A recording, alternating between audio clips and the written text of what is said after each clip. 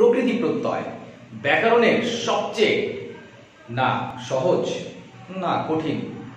এইরকম একটা বিষয় হচ্ছে প্রকৃতি ও প্রত্যয়। আমি আজকে এই বিষয়টি নিয়ে আপনাদের সাথে আলোচনা করব।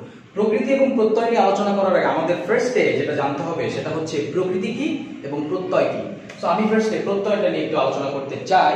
সেটা হচ্ছে, কোনো শব্দের শেষে যদি অতিরিক্ত অংশ এসে অর্থের পরিবর্তন করে ফেলে, তাহলে তাকে বলা হবে প্রত্যয়।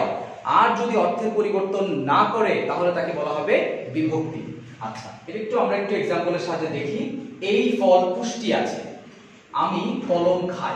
দুইটা অসম্পূর্ণ বাক্য আমি এখানে লিখে রেখেছি। একটা হচ্ছে, এই ফল পুষ্টি আছে। এই ফল পুষ্টি আছে, এটা কেমন শোনা যায়? আমরা কিন্তু নর্মালি যদি চিন্তা করি, এটা কিন্তু কোনো বাক্য হয় না। আমি এখানে একটু মডিফাই করে যদি এখানে লিখে দিই, এ, ফলে, তাহলে নতুন একটা শব্দ আসছে, সেটা হচ্ছে, এ, এটাকে বলা হয় অতিরিক্ত অংশ। এটাকে বলা হয় অতিরিক্ত অংশ। অন দ্য আদার হ্যান্ড আমি কলম খাই। এখন কলম হচ্ছে একটা লেখার উপকরণ। কলম কি খাওয়া যায়? তাহলে আমি এখানে একটু মডিফাই করে দিলাম, কলমি। এখানে অতিরিক্ত অংশ কি? রস্যই। এটা হচ্ছে এখানে অতিরিক্ত অংশ। এখন আমাদেরকে দেখতে হবে কোন অতিরিক্ত অংশটা এসে অর্থের পরিবর্তন করে ফেলল। প্রথম বাক্যে ফল ছিল, ফলে এসেছে। এখন ফল যেই কথা, ফলেও সেই কথা, অর্থের পরিবর্তন হয় নাই। আর যদি অর্থের পরিবর্তন না হয়, তাহলে তাকে বলা হবে বিভক্তি। তাহলে এখানে যে এটা এটা হচ্ছে একটা বিভক্তি। এবং পরবর্তী বাক্যে কলম থেকে কলমি, কলম একটা জিনিস এবং কলমি হচ্ছে ডিফারেন্ট একটা জিনিস, খাওয়ার বা কোন খাদ্য। তো অর্থের যখন অতিরিক্ত অংশটা এসে যখন অর্থের পরিবর্তন করে ফেলবে, তখনই আমরা তাকে বলব প্রত্যয়।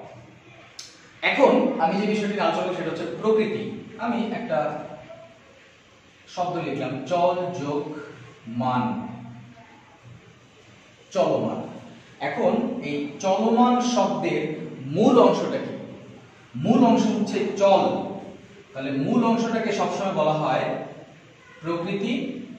অতিরিক্ত অংশটা এসে যদি অর্থের পরিবর্তন করে তাহলে তাকে বলা হবে প্রত্যয়। এখন দেখি দেখেন অর্থের পরিবর্তন করেছে কিনা। চল ছিল, চলের সাথে অতিরিক্ত অংশটা মান হয়ে চলমান হয়ে গেছে। অর্থের পরিবর্তন করে ফেলছে, চল এবং চলমান। দুটা কিন্তু দুই জিনিস। অর্থের পরিবর্তন করলে তাকে বলা হবে প্রত্যয়। তাহলে এটার নাম হচ্ছে প্রত্যয়। আর প্রকৃতি এবং প্রত্যয় দুইটার সংবিন দুইটার কম্বিনেশনে যেটা হয়, সেটা হচ্ছে প্রত্যয়ান্ত শব্দ। প্রত্যয়ান্ত শব্দ সো আশা করি আজকের ক্লাসে আজকের প্রাথমিক ক্লাসে আপনারা প্রকৃতি, প্রত্যয় এবং প্রত্যয়ন্ত শব্দ সম্পর্কে একটা ক্লিয়ার কনসেপ্ট পেয়ে গেছেন। সবাইকে ধন্যবাদ।